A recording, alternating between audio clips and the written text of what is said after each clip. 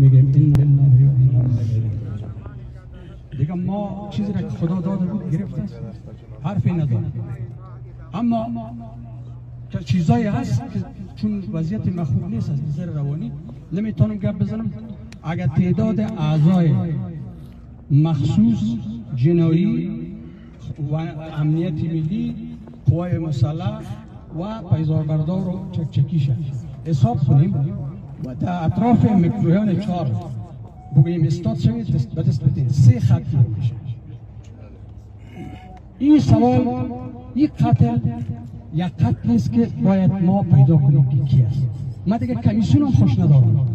ما به او کارهای تشریفاتی که موترا بیان دفتر با کار نداریم. این توفیق خداوندی است. خدا داده بود خدا گرفته است. او کار خدا می‌کنه اما نه والی بود نه قماندان بود نه دجبه بود نه وزیر بود نه معین بود. امی, امی آدم چی کرده بود؟ خارج از نوشتن. این نویسنده این شاعر این ادیب این سخنور این گرداننده تلویزیون. آیا که شما این چی فکر می‌کنید گناه امیت یک آدم چی است حتی اگر انتقاد کنه در حالی که یک مدت زمان از تلویزیون هم کنار بود. این سوال یک سوال سیاسی است ما با کمیسیون هم ضرورت نداریم با عقل خود پیش از که ما با این آن بریم و توفه بگیریم و کسای ما را بالا سر بشانن چیزای تشریفاتی کنن او کار نیست با خداوند مراجعه می‌کنیم که منتقم حقیقی است و انتقام زیر بگیره و اگر ما نمی‌تونیم و من می‌فهمم که کسی این کار کرده و چوب می‌باشم خداوند همون ساد جان مرا بگیره جای ما پولیسی است و ما مردمی هم نیستیم که نه پول داریم امیاله نه وکالت و چیزا رو دیدیم نه کدام موترهای چند تا داریم کدام امکانات هم نداریم.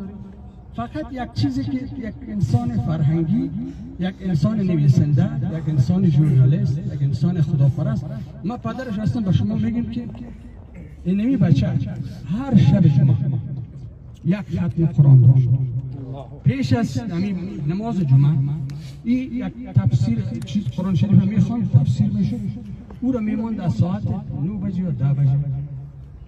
یعنی ما که را می‌بینم نماز هیچ وقت قضا نشده یعنی حال شما ببینید.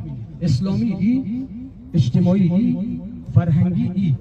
سیاسی هم که عضو کدام اسم سیاسی نبود اینجاست که ما حق داریم یک شک منطقی داشته باشیم. و این را باید به کرسی بشانیم. که چطور یک انسان میاد در خانه خود میشینه باز میره. باز از میان اینقدر زعما و و شخصیت ها این انتخاب میشه. این چی بوده؟ به هر حال ما میگیم که خداوند اینا رو ببخشه. خداوند شما را سلامت داشته باشه و تشریف آورده باز فاتگی